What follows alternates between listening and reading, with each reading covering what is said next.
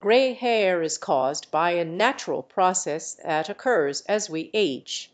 Each hair follicle contains pigment cells called melanocytes, which produce a pigment called melanin. Melanin gives hair its colour, whether it is black, brown, blonde, or red. But as we get older these melanocytes gradually produce less pigment, resulting in grey hair; eventually the melanocytes may stop producing pigment altogether, leading to white or completely grey hair.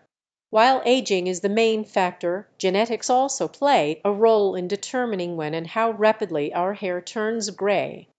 External factors like stress, smoking, and certain medical conditions may also contribute to premature greying.